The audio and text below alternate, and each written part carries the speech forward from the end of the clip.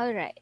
This is ratio and proportions. When we say ratio, it is a comparison of uh, two quantities. And when we say proportion, it is a comparison of ratios. Okay. So let's have number one. A premature infant is gaining 2.5 ounces a day. At that rate, how many days will it take for him to gain 8 ounces?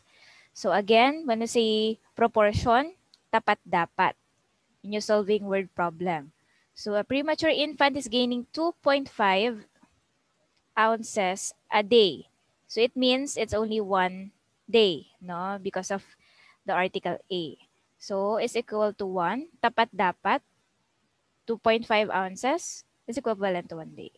At that rate, how many days will it take for him to gain 8 ounces? So another given is ounces.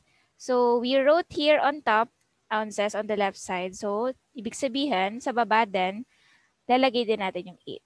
Same dapat yung unit nila. 2.5 ounces, 8 ounces. And then, what is missing? The number of days will it take. So this is letter N. Okay? And then you cross multiply. So that would be 2.5n is equal to 8 times 1. Okay? So ito yon 2.5 magkasama si n. 8 magkasama si 1. Okay? So 8 times 1, that would be 8. So sulat lang natin yung 2.5n is equal to 8. And then divide, divide both sides to the digit or number beside n. In this case, ang katabi ni n is 2.5. So we will divide both sides into 2.5. Okay? And then we will cancel out the digit beside n because pareho lang din ito. So what will remain is n is equal to 8 divided by 2.5 is 3.2. So what is our label? At that rate, how many days? So 3.2 days. Okay. Next, what about number 2? A copy machine can duplicate 2,400 copies in one hour. How many copies can it make per minute? Okay. A copy machine can duplicate 2,400 copies in one hour. Okay, one hour. And then, how many copies, o ito yung nawawala, can it make per minute?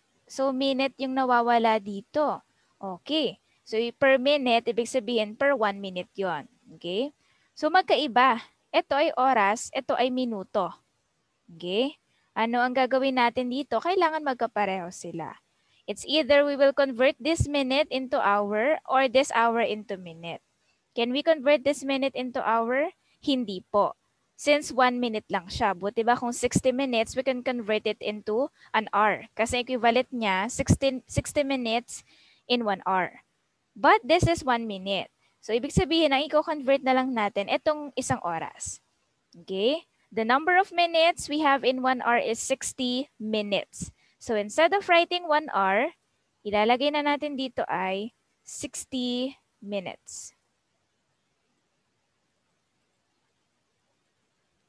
Okay. And then do the cross multiplication. 1 times 2,400 and n times 60. So 60n is equal to 2,400 times 1. 2,400 times 1 is 2,400. And then what's next? We will divide both sides into 60. Cancel out this 60.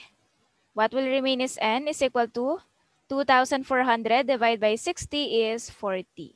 So the answer would be 40, 40 what? 40 copies. Okay.